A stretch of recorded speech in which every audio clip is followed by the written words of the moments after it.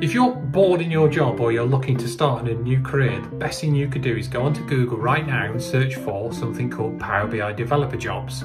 You will see thousands and thousands and thousands of results on there for businesses that need people with Power BI developer skills.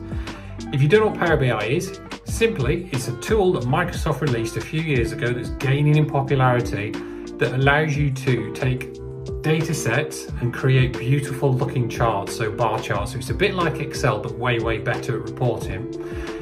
The next thing you want to do is, well, you'll think to yourself, how do I learn it? Well, what we've done is we've created something called the Power BI Jumpstart Challenge. And the Power BI Jumpstart Challenge is something that takes you no more than two hours and it will take you step by step all the way through to create your very first report. So you'll download Power BI, You'll take our data set, which actually happens to be an Olympics data set, so it's a lot of fun, and you'll create your first Power BI report, and then you'll gain a Credly certificate, which you can put on your LinkedIn profile.